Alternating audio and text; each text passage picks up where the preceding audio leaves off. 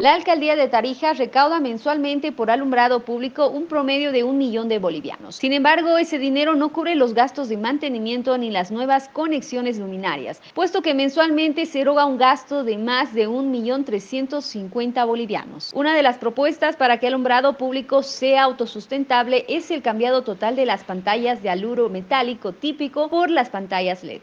Cada mes recaudamos un millón cien bolivianos, un promedio pero lo que gastamos pasa a los 1.350.000. O sea, ¿qué quiere decir esto? Que lo que se recauda no alcanza siquiera para pagar lo que gastamos.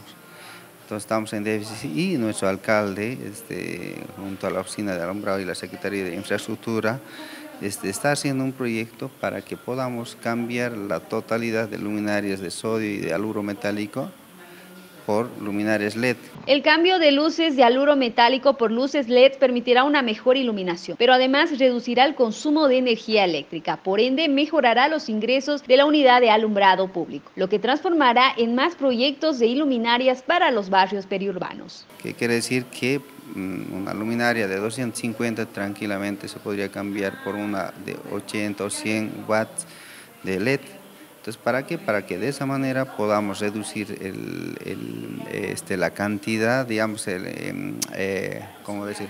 el consumo, el consumo y eso repercute en, dinero. Entonces, ¿para qué? Para que después de que hagamos este trabajo podamos tal vez pasar de perder, por lo menos, o sea, a equiparar o ganar un poco para que esa ganancia también vaya este, a compra de luminarias para los barrios eh, periurbanos que, que, a diario nos, nos solicitan. En la ciudad de Tarija y en la provincia cercado se estima que existen 28 mil luminarias. De esa cifra, 8 mil ya son luminarias LED y más de 20 mil son luminarias de sodio y aluro metal. Ahorita en Tarija debemos tener en toda la provincia algo de 28 mil luminarias, ¿no? Más o menos redondeado. Y de las 28 mil, este, 8 mil y algo son luminarias LED y más de 20 mil son luminarias de sodio y aluro metálico. Hay que cambiar esas 20 mil luminarias para que podamos, en primer lugar, tener mejor iluminación y menor consumo.